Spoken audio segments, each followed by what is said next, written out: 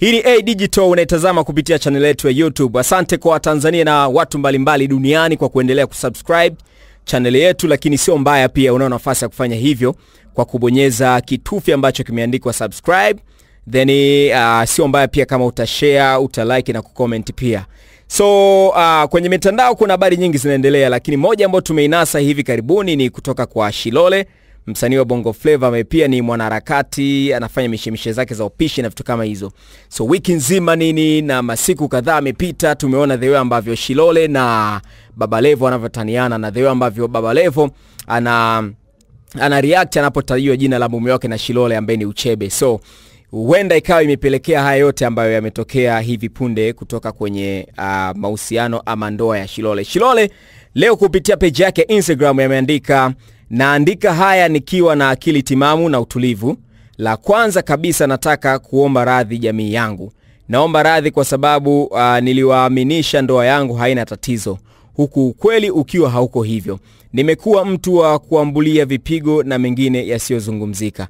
Naomba radhi kwa sababu niliposikia wanawake wenzangu wakipigwa, uh, niliwaambia pazeni sauti. Niliposikia uh, mwanamke kule Kigamboni ameuawa na kuchomwa moto, niliom, uh, niliomboleza na jamii na kusema bora angesema, huku mimi nikijikausha na kujitoa kwenye kundi lao, wakati ukweli wangu mimi mwenzao naomba radhi, au sio eh? Shilole ameendelea kwa kusema mimi ni kioo cha jamii, tena sura kubwa ya, mwa, ya wanawake. Leo nimeona nivunje ukimya kwa kuweka wazi kwamba mume wangu Ashraf Sadiki maarufu kama Uchebe amekuwa ananipiga sana, na tena hata baada ya kunipiga hajali kupiga simu wala kujua naendeleaje. Nauguzwa na watu baki hospitali na bado manyanyaso mengine yanayonikosesha hii ninayoyaita ndoa, uhai na furaha. Na zaidi nina watoto uh, watoto wanaoniangalia kama baba na mama. Leo nikubali kufa na kuacha wanangu barabarani, sitaweza. Uchebe ni mwanaume niliyempenda, nilimvumilia kwa madhaifu yote, nikampa kila kitu, utu wangu, mali zangu, na hata palipotakiwa kumwendeleza asimamie, na hata palipotakiwa kumwendeleza asimame mwenyewe,